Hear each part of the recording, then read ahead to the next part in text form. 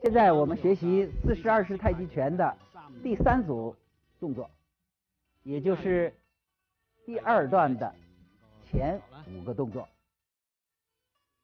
首先，请大家看一下这五个动作的连贯演示。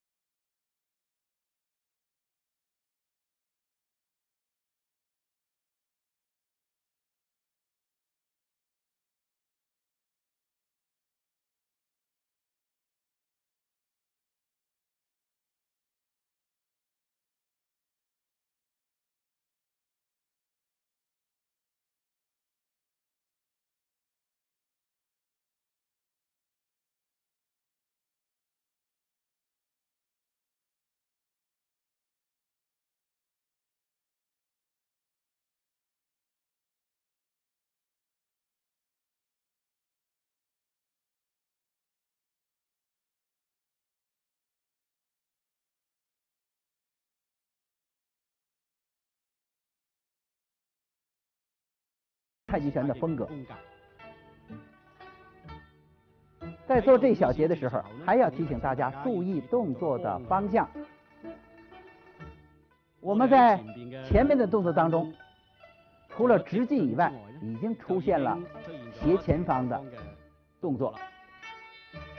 比如说，我们开始的彭里挤按蓝雀尾的按掌，就是要转身向右前方推按。捋脊式也是走一个之字形。四十五度的斜前方的捋和挤。那么我们这一节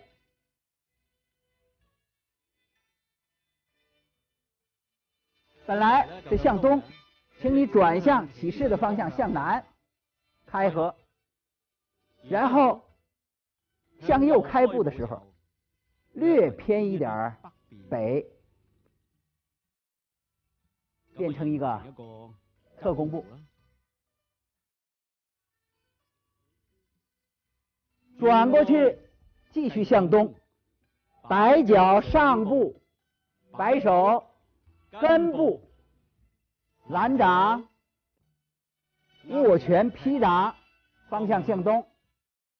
转身的时候，请你注意向北、向南，但是上步要斜向。前方上步叫做斜进直打，向右前上步，正南推出；左前上步，正南推正北推出。做这个动作要注意，边转身，边向后移动，所以才叫做倒撵猴或者倒卷弓。最后玉女穿梭的动作，分别向两个斜角，收脚，转身搭手是一个平匀，而不是一个挤，坐腿，向西北方向，平匀，背向西南。身体仍然保持中正，切不可歪斜，两个脚也不可交叉。下面，请大家再看一下这几个动作的背向演练。